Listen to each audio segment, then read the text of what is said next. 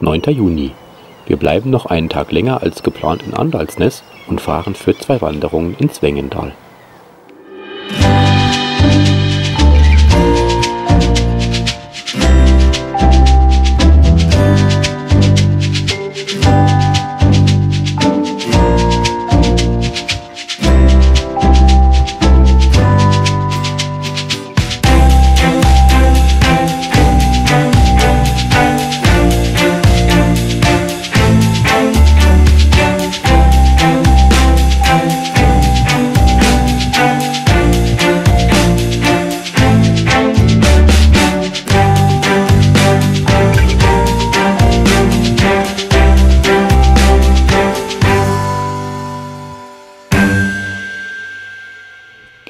Führte uns Erik auf den Loftskarree. Heute fahren wir mit dem Solimobil ins Wengedal, was so viel bedeutet wie grünes Tal.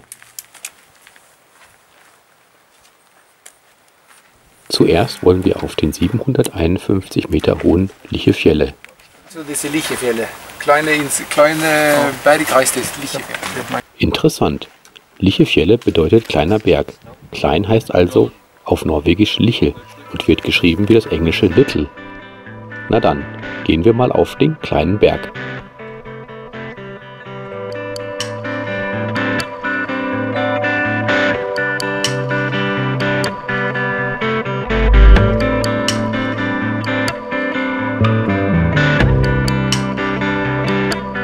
Auch diesmal geht es wieder steil bergauf.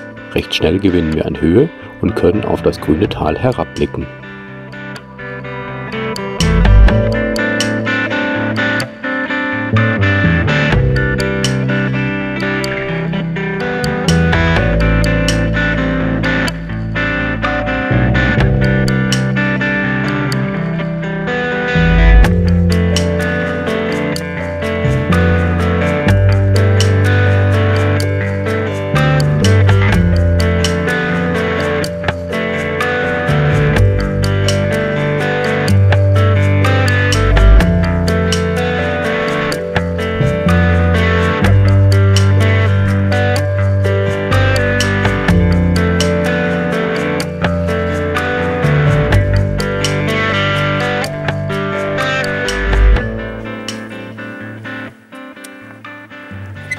Schon oben.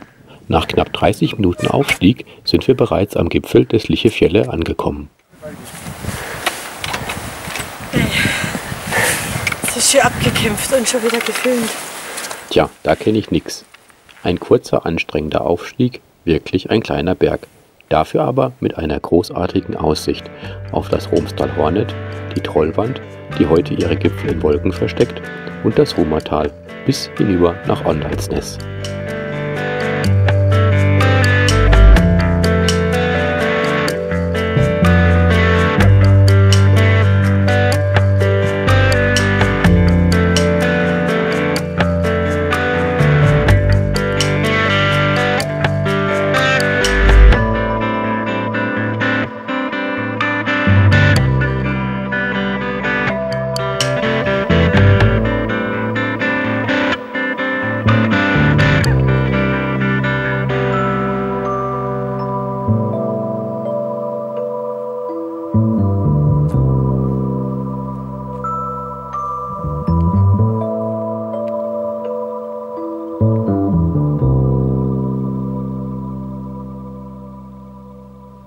Bei der Aussicht hätten wir hier noch Stunden zubringen können, aber Erik will gleich noch eine zweite Tour dranhängen, also müssen wir wieder runter.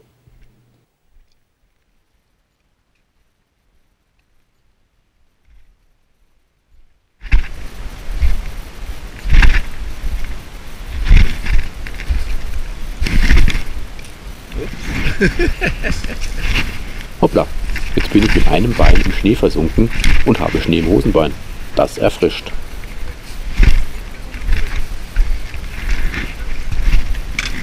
Momentchen mal, kurz den Schnee aus der Hose entfernen und jetzt können wir weiter.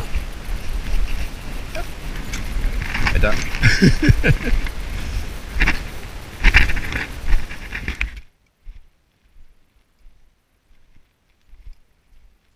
Kurzer Aufstieg, schneller Abstieg und schon sind wir wieder beim Solimobil.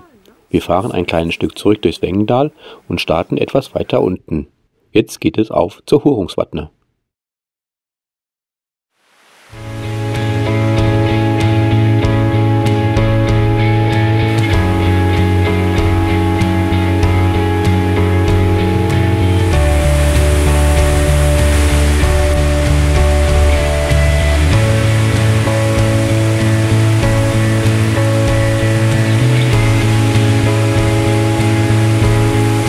Schmaler Pfad führt uns entlang eines rauschenden Gebirgsbachs, teils über Schneefelder, zur fast 900 Meter hoch gelegenen Hurungswattnet.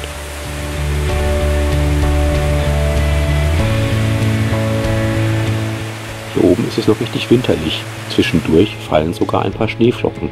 Und das im Juni.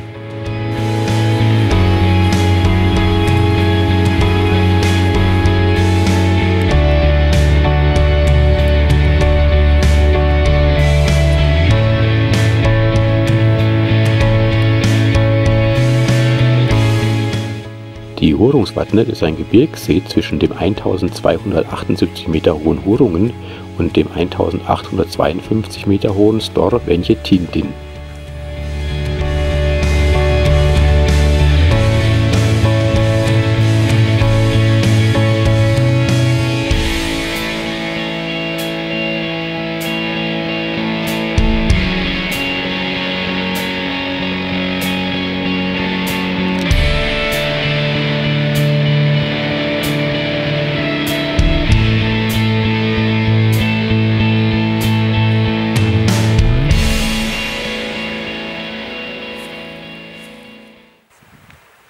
Wir am Ziel unserer letzten Wanderung angekommen.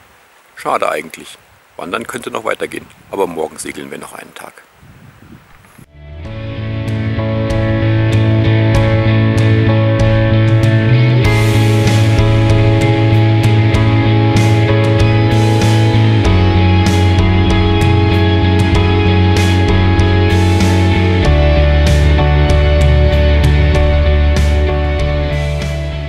Diese Brücke, wenn wir dieses Überbleibsel aus Holz so nennen wollen, habe ich euch beim Aufstieg gar nicht gezeigt. Der Akku der GoPro war leer. Nun ja, irgendwo müssen wir diesen reißenden Gebirgsstrom hier überqueren. Und für uns als erfahrene Abenteuer ist das schon eine richtige Golden Gate Bridge. Naja, Spaß beiseite. Vertrauenserweckend ist das Ding nicht.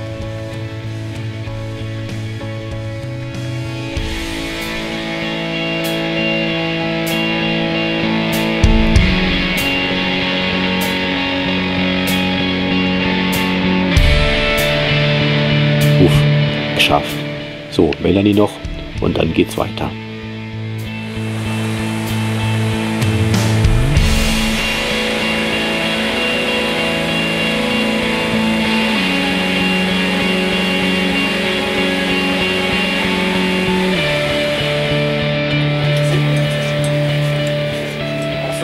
Zurück an Bord der Soli. Hier ist es richtig gemütlich.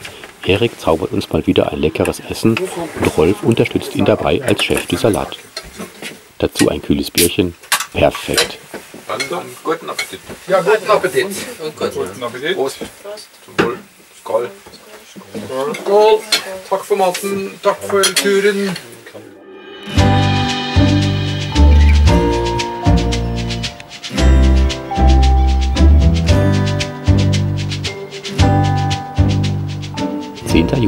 Juni, Orndalsnes. Die kleine Stadt im Fjord mit ihren Fischerhäusern und dem Kletterzentrum hat uns gut gefallen. Heute heißt es Abschied nehmen. Wir machen die Soli klar und fahren durch den Romsdalfjord zurück nach Mulde.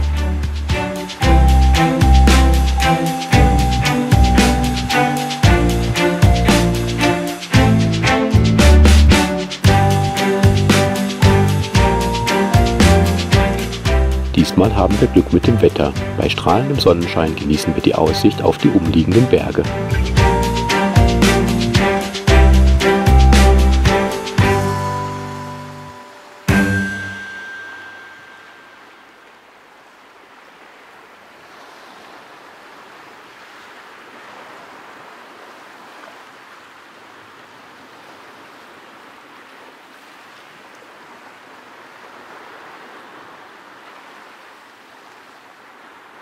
Während wir unsere Mini-Kreuzfahrt genießen und Martin das Ruder übernommen hat, ist Erik in der Kombüse zugange.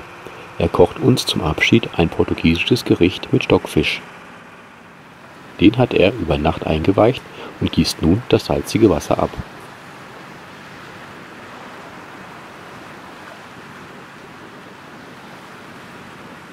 Salzwasser zu Salzwasser.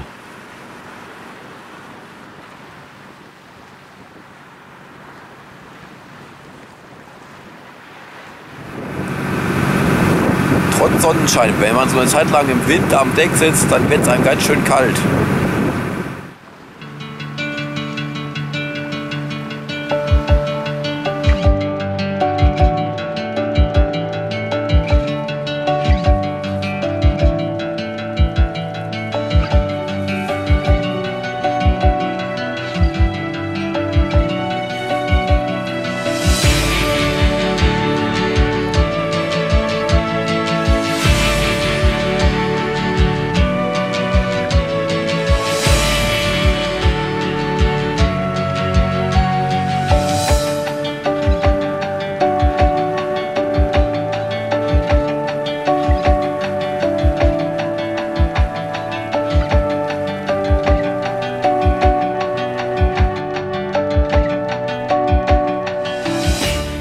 Liegt Mulde. Ein Flieger landet gerade auf dem Flughafen. Unsere Maschine, mit der wir morgen zurück nach Oslo fliegen, ist das noch nicht. Dafür ist sie zu klein.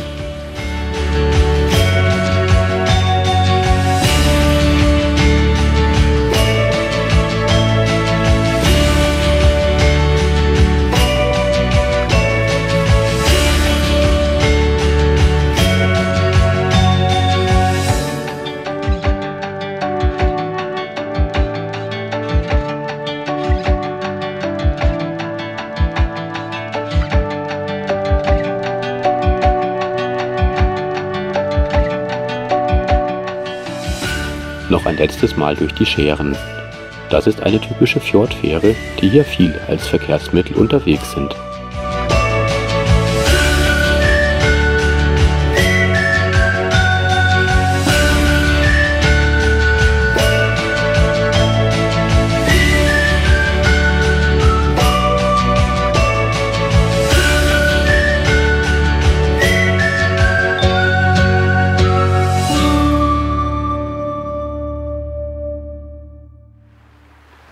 Ist der Hafen von Molde. Klarmachen zum Anlegen.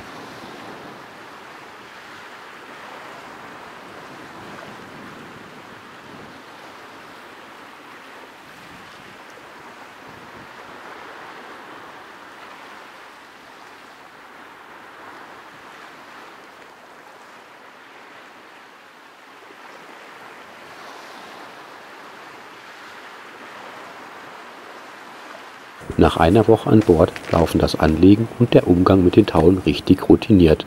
Als Mannschaft wären wir jetzt bereit für weitere Bootstouren. Schade, dass es morgen zurück nach Deutschland geht.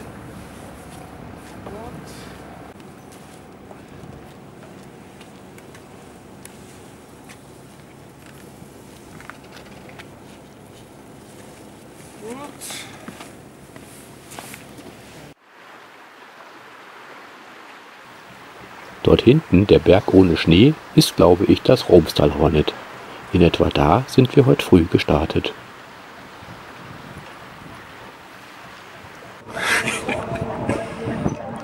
So, jetzt sind wir wieder in Molde angekommen. Acht Tage Urlaub in Norwegen sind vorbei. Eine herrliche Zeit. Tusen Tag for Tour.